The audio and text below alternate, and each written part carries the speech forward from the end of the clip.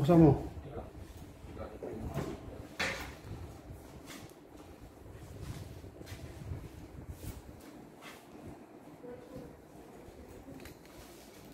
Eh, hila.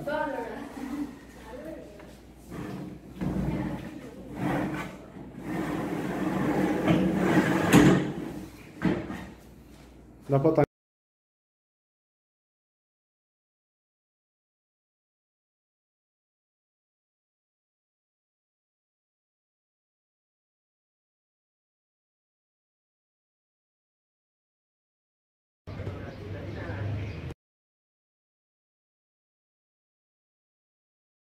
ang Magsalita ka.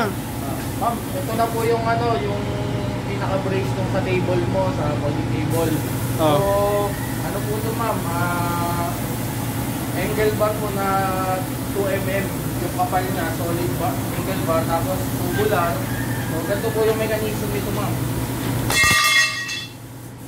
Taas po natin to. Ilang table yan, Mar, for ano yan?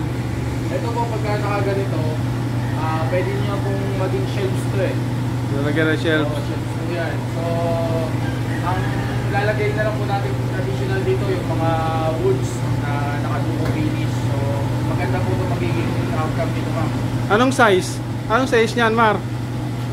Ah, nasa ano po ito eh, 64 inches yung haba. Tapos, Table for ilang kasya dyan? kasya po dito, anim na tao eh. 3, 6, 9. Kasya 9 dyan. Kasya na.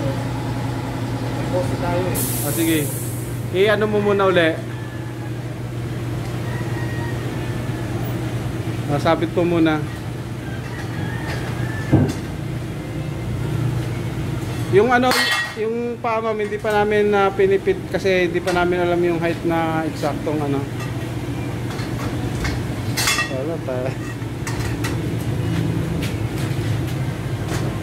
O, subukan mo umupo doon, di ba? Tatluhan niya, pwede. Isa, dalawa, tatlo, apat, lima, anim. Kasya anim pero masikip na. Tama lang. Sakto lang. Kaya lang may poste kasi kain dyan eh. Kaya mga dalawa lang makaupo. Aning talaga. Isa dito. Dito tatlo. Kahit malaki yung tao, kaya naman aning. Kaya anim. Oh, ano yan? Bubuhit. Pero gagawa tayo ng ano. Sa bracket. Bracket. Hmm, gumagawa na si Jomar ng bracket. Galing mag-welding yan. Mutawa. Gusto ko magaling. Hindi marunong.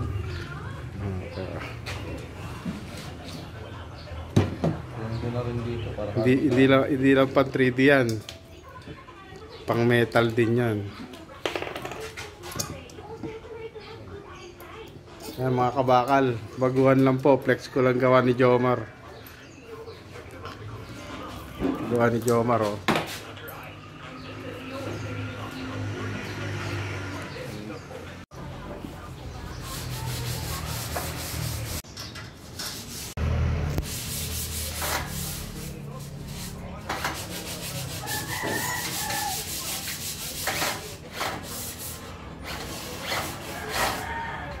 Yan si Jomar. Ganda ng gawa ni Jomar oh. Mar, nabuon mo na ba yan, Mar? Nabuon mo na? Lapit na, isa na lang. Oo, ta. Siya nag-welding yan. Ma'am, oh, si Jomar.